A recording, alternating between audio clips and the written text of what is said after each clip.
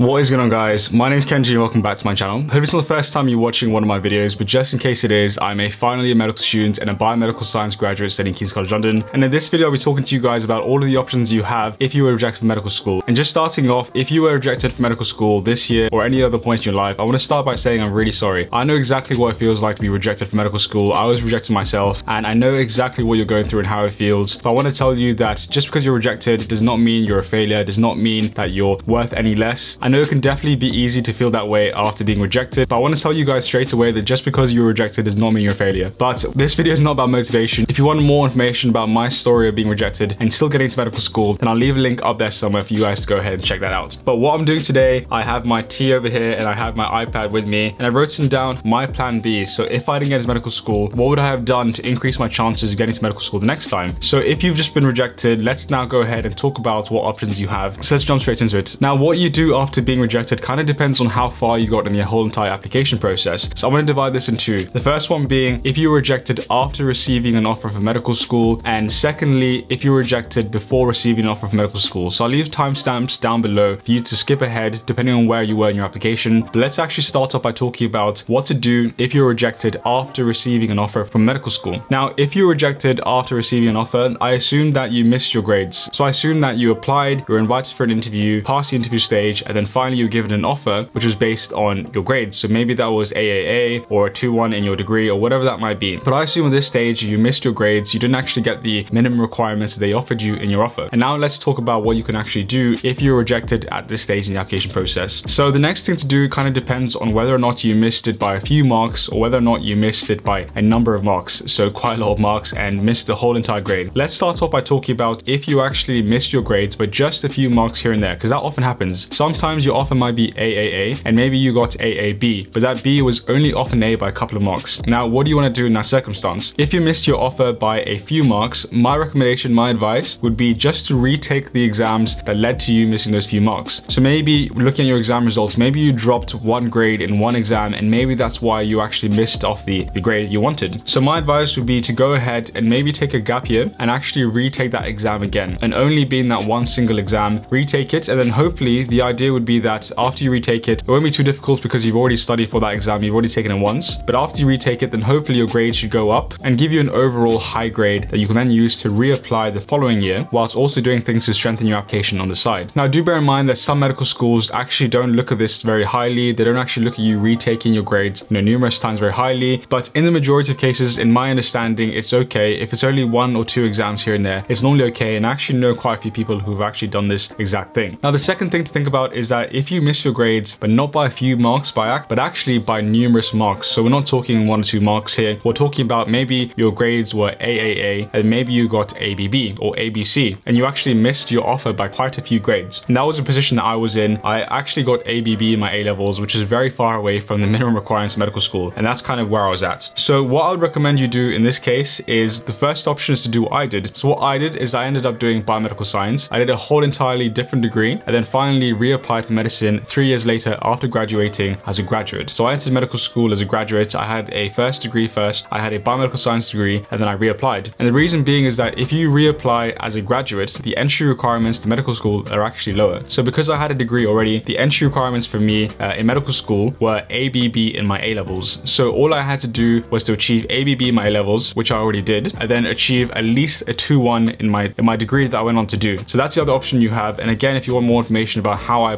as a graduate, I'll link a video up there to describe that process. The second choice you have here if you missed the application by a number of marks is to think about going international. So I didn't do this myself, but I know quite a few of my friends actually went abroad to do medicine. So this is doing medicine in places like Romania, Croatia, um, Prague. There's loads of different medical schools across Europe and also internationally that allow you to enter medical school with lower grade boundaries. So those medical schools may have entry requirements of ABB, maybe BBB. The entry requirements tend to be a bit lower than the UK, and that's another option to consider. And I can't exactly go into more detail about this. I didn't really go to medical school abroad, but if you want me to make a video on that and do some research for you guys, then let me know in the comment down below. Now, the third option that you have in this circumstance, again, is to reset the exams you missed out on. So for example, maybe you got ABB like I did. Maybe your A was good, but the other two Bs weren't as good. And maybe you can retake those exams again in order to improve your score and then get you up to the minimum entry requirements. Now, obviously this means that you have to take a gap year again. You may have to take a year out and then retake these exams, maybe retake more than one exam. It is a bit of a long process, but but slightly less long than what I did, which was to do a completely different degree. But those are the sort of three options you have if you missed your grades by quite a few marks. Now let's go on to talk about what to do if you actually got rejected for receiving an offer. So in this circumstance, maybe you did the UCAT, you wrote your personal statement, you made an application, um, but unfortunately you didn't even get invited for interview, or maybe you did get invited for interview, but after being interviewed, you were rejected. Now, what do you do in this circumstance? What you do going on from here depends on two things. The first is that if you achieved good grades, and the second is that if you didn't actually meet the minimum requirements for medicine, which is often AAA. So if you were rejected for medicine, as I said, you did the whole entire application process, but you didn't receive an offer at the end. Let's start off by talking about what you can do if you still manage to finish off your school, finish off your degree, whatever it is you're doing, and you manage to get good grades. So you still got AAA or you still met the normal minimum requirement that medical schools normally need. Now, my advice is that if you're in this circumstance, is that it's a pretty good circumstance to be in. The reason being is that you already have good grades in school. You've already met that minimum requirement for medical school. It's quite a good place to be And if you're in that place, maybe you didn't get an offer because of your UCAT score, maybe because your personal statement wasn't very strong, maybe your, your extracurriculars weren't that good, or maybe you didn't do well in the interview. If you're in that circumstance, my advice, my honest advice would be to reapply the next following year. Obviously, you can only apply to medicine once, so my advice would be to go ahead and reapply the next year with the exact same grades that you got, which were the minimum requirements. But during that year off, while you're waiting to reapply, my advice will be to do things that will strengthen your application. So strengthen your weaknesses, strengthen your application. So again, that might be practicing the UCAT more. Maybe you lacked in the UCAT. Maybe you want to practice on the UCAT more. Maybe you didn't actually have a very strong personal statement and therefore you didn't have, you know, very much work experience. Maybe your extracurriculars were actually lacking, but do all of these things to actually increase how competitive you are as an applicant and then go ahead and reapply the following year, hopefully with a good UCAT score, hopefully with more things to talk about in your personal statement, and hopefully overall with just a generally more competitive application. So that's what I would do. The second option you have if you achieve good grades would be to go international. So again, I spoke about that uh, previously, but to go and look at an international university you can apply to, I wouldn't really recommend this if you want to apply in the UK. If you had good grades and all you have to do is tweak a few things, I would personally go for the option of reapplying, but again, that's up to you to decide. Now let's talk about if you're a circumstance where you didn't actually meet the minimum grade requirements, so you were rejected again before actually receiving an offer, and after being rejected, you ended up not getting good grades anyways, or the minimum requirements at least. And let's talk about what you can do here. So if you were rejected before receiving an offer, you didn't get the minimum, the minimum required grades, and you missed these grades by a few marks, again, what I would recommend is doing what I said previously. If you missed it out by a few marks, what I would recommend again is to retake the exams that you missed out on, reapply, and then again strengthen the weaknesses that you had. So if there's only a few marks there, follow the same process I said before, which is to um, to retake the exams and reapply the following year. Now again, if you're in the position where you actually finished off high school, finished off your secondary school or your degree, and you missed out on the minimum requirements by a large number of grades, so again, maybe you got ABB or BBB or BCC, but you get the point, you know, you missed it by quite a few grades like I did, then you kind of have two uh, options in my opinion. The first is to, again to do what I did. I didn't really want to reset all my A-levels all over again. So what I did is again, I applied as a graduate. So again, you know, getting another degree first, and then hopefully reapplying with a 2-1 or a first class um, in your in your in your degree. The second option you have again is to reset your A-levels. This is quite a lengthy process, and this might be quite difficult to go ahead and to reset your A-levels, crossing your fingers that you achieve a high grade again, and then you know going into the path of medicine.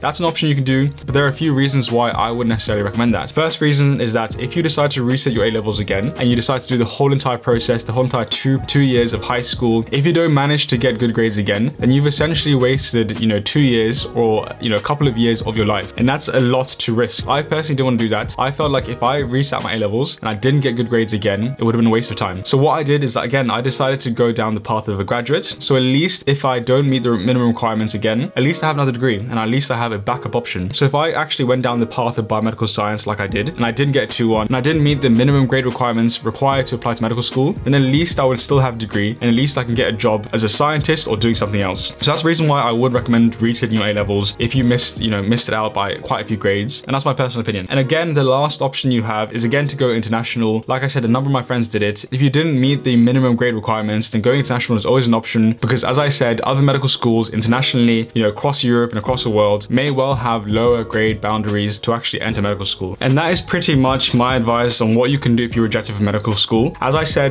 it's probably not a completely comprehensive guide, but after being rejected from medical school, this is the options that I came up with. And this is what I used to then decide my path, which was actually to go down biomedical science and then finally get into medical school. If you guys want more information on this whole entire process of being rejected and getting into medical school, then I have a ton of videos on my channel to do with getting rejected, kind of motivation, and finally getting into medical school. But lastly, if you guys want more information information about how to strengthen your application to medical school, then I have a free entire course on Skillshare that you guys can watch, again, completely for free, to try and help you guys get into medical school. I'll leave a link down below and also on the screen somewhere in a second. That contains all of the information, all of the advice I have to help you guys get into medical school. So you can watch it completely free by clicking the link down below. If you guys have any questions whatsoever to do with my process of getting to medical school, to do with anything at all, please leave a comment down below and also take two seconds out of your day to leave the video a thumbs up. It really helps my channel grow. And please make sure you're subscribed with notifications on to make sure you never miss an upload. Thank you guys so much for watching and I'll see you guys on the next one and good luck with your application.